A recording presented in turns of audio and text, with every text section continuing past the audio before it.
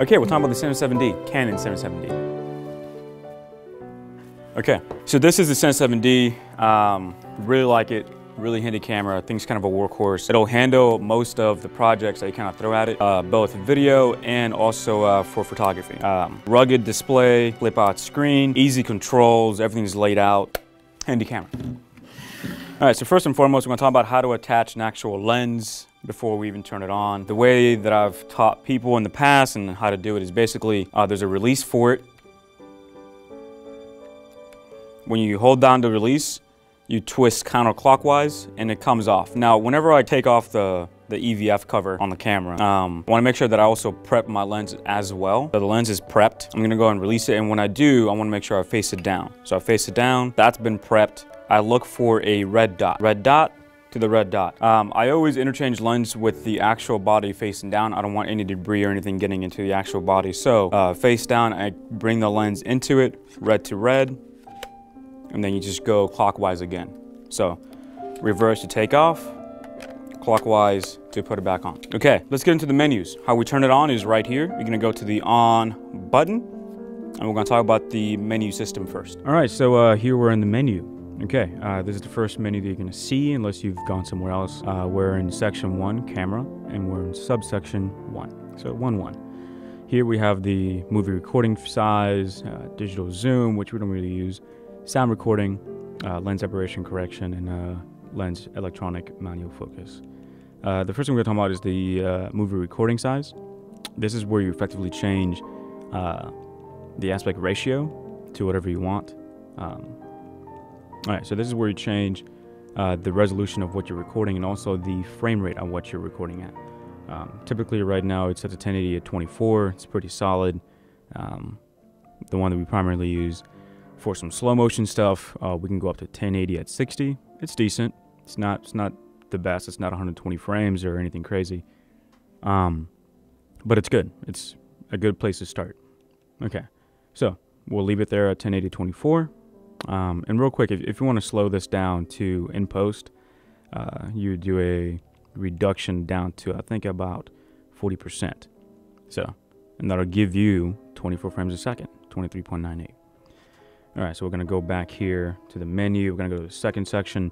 Nothing here you should really mess with. Uh, this is pretty important, white balance. Um, I typically trust the camera for most things. Um, if there is, however, an issue, you can always do custom white balance and kind of change it uh, to wherever you want, you know, depending on wherever you're shooting. Um, leave it there. Uh, custom white balance also, um, as you can see, I've huh, I've already changed that. Picture style, uh, I do like neutral, and, and we'll go ahead and click the info button to change that. DSLRs tend to over sharpen things and also over contrast them, so we're gonna come down on the contrast as well. We want kind of a flatter image, uh, desaturate ever so slightly. Uh, yeah, um, color tone is fine. Um, this is this is if you haven't installed a C-Log profile into the camera, which we can talk about how to do in a later video. We'll go and go menu, go back.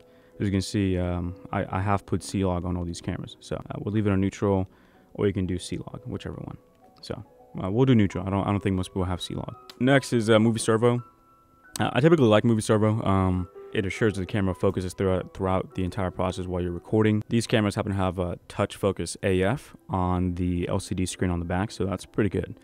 Um, face tracking does pretty good.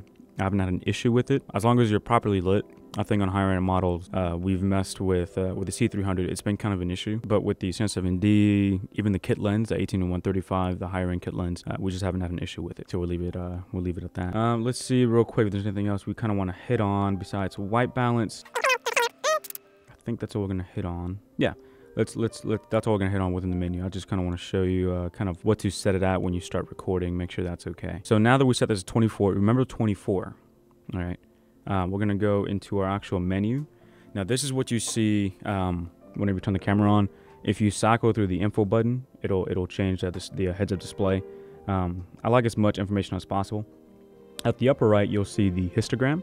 It'll tell you uh, exposure settings and that sort of thing. The main thing you kind of want to focus on is if you see over towards the left, you'll see 23.98 again. Again, that's our frame rate. We're filming at uh, full HD, 1080p. Um, you want your shutter speed to be double that. Now on this camera, it's the number changing at the bottom. That's our shutter speed. Uh, the reason why you want um, double 24, which obviously it's not hard, double 24 is 48. Uh, the closer we can get to it on, on these DSLRs is 50, is because uh, that gives it the proper amount of motion blur whenever someone moves. Uh, so it doesn't seem too fake, doesn't seem too real. It, it, it, it pretty much equates to whatever your eye sees in terms of motion blur. Um, and also film as well. So 24, we double it, we end up at 48. The closest we can get to it is 50. Uh, the number to the left, uh, sorry, the number to the right of that is going to be your aperture. So you can change it with the scrolling wheel. And the ISO, there's actually a dedicated ISO button uh, on the camera. So we just press the ISO button and then we can kind of uh, dictate that. Uh, you typically want to keep your ISO as low as possible just to maintain um, as much quality as, as you can.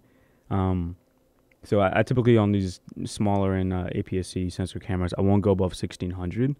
Um, and, and, anything below that should be usable. Uh, you can always do a little bit of a noise correction in post, and we can talk about that also in another video. Um, so we'll, we'll, leave it at 400. Um, that's basically it. That's basically your your setup. Uh, you can press Q to quick change any of the features in the in the menu. Uh, you won't really want to change anything unless you want to do some slower motion stuff. Um, so if you just hover over the full HD, we'll go to uh, 1080 at 60, and now 60 times 2 puts us at 120. And again, the closer we get to 120 is 125, so make sure you stay at 125. Um, but yeah, shutter speed is always double uh, what your frame rate is. So uh, we'll go back to 50 and change that back down since uh, since that was uh, since that's what we're going to primarily be using. Boom, boom, boom. There we go. Alrighty.